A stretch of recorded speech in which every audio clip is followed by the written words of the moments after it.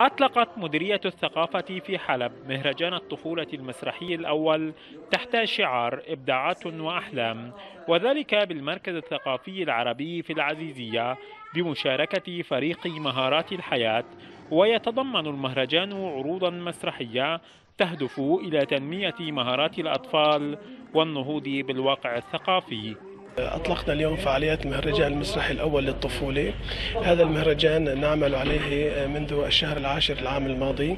قدمنا من خلاله جلسات توعوية ثقافية فنية مسرحية للأطفال. هذه الأعمال تهدف إلى تنمية الذائقة الفكرية والثقافية والفنية لدى الأطفال والنهوض بواقعهم الثقافي. الهدف من العمل التوعية الصحية نقل الصورة بدقة إلى الأهل وانطباعها في ذاكرتهم بالإضافة إلى أنه الطفل بحد ذاته يعرف آلية وكيفية الدفاع عن نفسه ضد هالمرض والوقاية.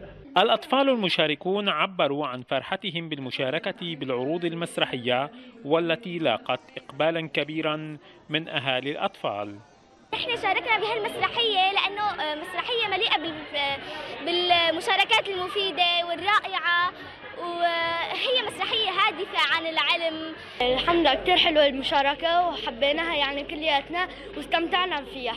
أظهرنا بهالمسرحية تراثنا أه ورجعنا للعالم إنه كمان كورونا لازم نحافظ على أجسامنا وإنه المرض ما بيوقف أي شيء، نحن أطفال سوريا بنقدر نعمل أي شيء لأنه بكورونا أو أي فيروس ثاني ما بيوقف لا الفن ولا الدراسة.